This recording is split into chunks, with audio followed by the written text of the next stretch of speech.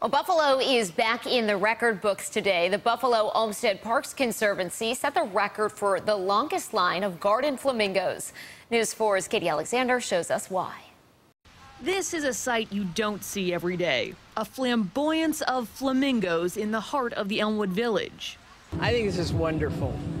I'm just disappointed that uh, they're not going to all take flight.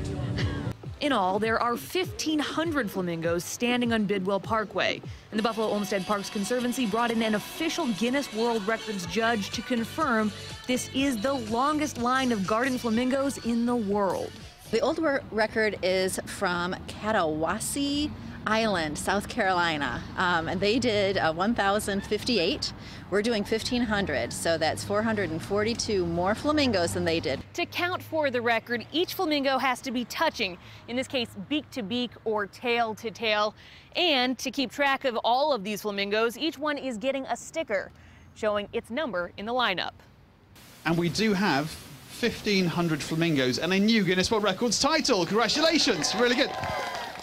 Getting this all together took a lot of volunteers, with the early birds starting before 6 Thursday morning. Well, our first job is to put the legs in the flamingos, and it's a challenge. The hard work was worth it, though, when the birds were all in a 2,018 foot row. I think pink is what I think. Let's face it, this is all a little silly, but there are a couple of good reasons for it. For one thing, lawn flamingos have become a symbol of environmental stewardship. For another thing, these are Flomingos, celebrating the initials of Frederick Law Olmsted as the city celebrates the 150th anniversary of the famed landscape architect coming to Buffalo to begin designing our park system. We're just having some fun today with trying to break a world's record. Then we've got some activities that are going to happen in August. We've got our gala in September at Front Park. All of this, a good chance to flamingle with other parks enthusiasts.